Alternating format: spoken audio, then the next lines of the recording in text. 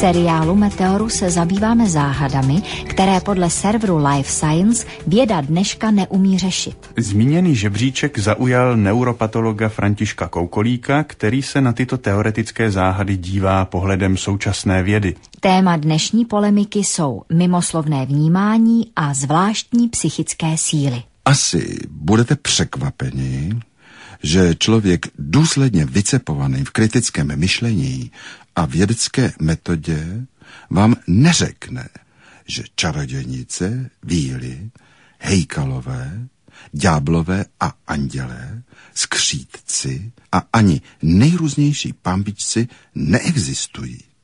Bude-li totiž tento člověk přesný, řekne, že jejich existence je málo pravděpodobná. Dokázat, že něco neexistuje, totiž nejde.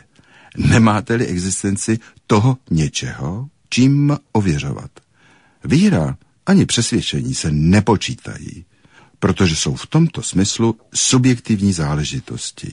A jak známo, lidé bez ohledu na stupeň vzdělání a výši inteligenčního kvocientu za vhodných okolností uvěří téměř čemukoliv.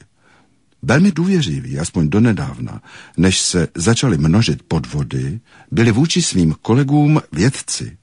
Před časem to dokázal skvostný výmysl redakce špičkového vědeckého časopisu Nature, jenž dne 1. dubna z legrace uveřejnil aprílový článek o genu nesmrtelnosti, kterýž to článek v dobré víře spolkl nejeden vynikající mozek. Španělští badatelé se pak zlobili, protože apríl je ve Španělsku jindy. Chci říci, z nepřehledného počtu dobře vědecky kontrolovaných pokusů plyne, že mimosmyslové vnímání ani zvláštní psychické síly, o kterých si vyprávíme, nikdo nedoložil. Ale z toho neplyne, že nutně neexistují. Ale pozor, na druhé straně z toho nutně nevyplývá, že existují. To musí nade všechnu rozumnou pochybnost dokázat zastánci jejich existence této situaci bych si dovolil připomenout nejprve Okamovu a pak Humovu břitvu na zázraky. Okamova břitva říká, že při výkladu neznámého nebo nejasného jevu je pravděpodobnější hypotéza co nejjednodušší. Ta hypotéza, která pracuje se známými proměnými. Než tedy do výkladu zavedeme mimosmyslové vnímání, navrhuje Okamova břitva užít výklad jednodušší, známější. No a proti podvodům všeho druhu se užívá Humova břitva na zázraky, která praví, cituj, žádné svědectví není sto doložit zázrak, leda, že by šlo o svědectví takového druhu, že by jeho mylnost byla ještě zázračnější než ten zázrak. Jinak řečeno, nevědomost, omyl, lež, podfuk a stupidita jsou pravděpodobnější než jakékoliv zázraky. A ty tajemné duševní síly? Představte si, že nedávno spojili své schopnosti špičkoví neurovědci, kteří se zabývají problematikou lidského vědomí a orientované pozornosti se stejně špičkovými světovými mágy.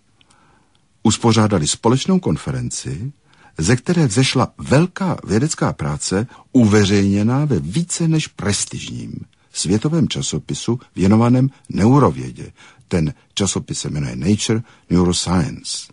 A společně popsali, jak se vytahují králíci z klobouku, objevují stovky mincí tam, kde nebyly, jak se dá vytáhnout ohromný balvan z boty, jak se nechává zmizet ponorka nebo socha svobody, jak lze oběsit mága, přičemž se mák objeví v hledišti, jak se přeřízne lano, které je v zápětí celistvé, jak se rozdělí propojené kruhy, aby se v zápětí opět propojily, jak se chytá vystřelená kulka, jak se lze vznášet nad zemí neboli levitovat, jak lze být jasnozřivý, mít telepatické schopnosti, mít nadlidskou paměť, i jak poznávat budoucí události a duševní silou kontrolovat jiného člověka.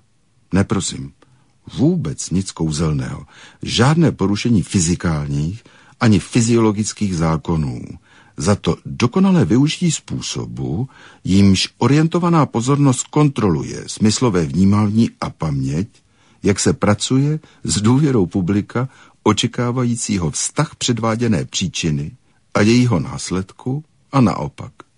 A to nejkouzelnější nakonec.